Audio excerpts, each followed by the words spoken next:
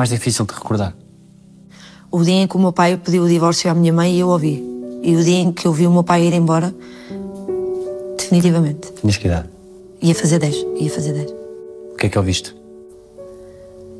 Eu ouvi o meu pai dizer à minha mãe que, pronto, que não, que não dava mais e que, que ia-se embora do país e nem se despediu de mim nem do meu irmão. É verdade.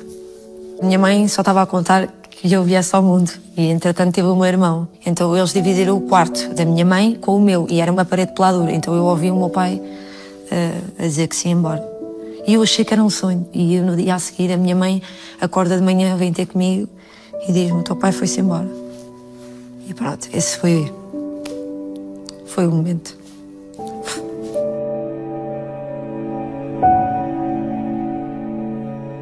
De 10 anos pensa porque é que ele não disse nada, né? Porque é que não se despediu? Sim.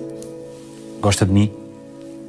E acho que a minha revolta vem disso, porque o que é que eu fiz de mal? Não fiz nada, eu nem pedi para vir ao mundo, não é? Portanto, e eu estava no limbo, naquele momento eu estava no limbo.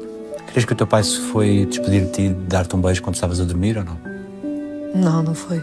Não, eu, porque eu lembro-me que, que eu achava que era um sonho, mas é, é, é aquela coisa do eu estou a dormir, mas não estou. Estou acordada. Parece que nós estamos acordados.